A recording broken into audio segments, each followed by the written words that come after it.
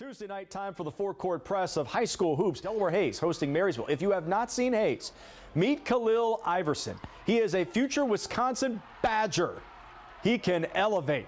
It was Marysville in the lead, though, much of the third quarter. Drew Mellon with the bucket in the paint. The Monarchs up by 11 after three, but the Pacers pick up that pace. Zach McIntyre to the hoop.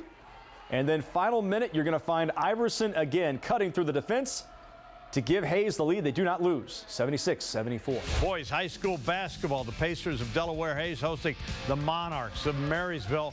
And Hayes jumping out. Noble Moore, three ball right there. Delaware up by three. Marysville hanging tougho. Come back with Mark Milholland answering, and he hits the three. Delaware keeps it going. Khalil Iverson, a monster jam right there. You know, that guy's going to play college basketball at Wisconsin. Finish it off with Zach McIntyre, the reverse layup. Delaware goes on to win 76 74.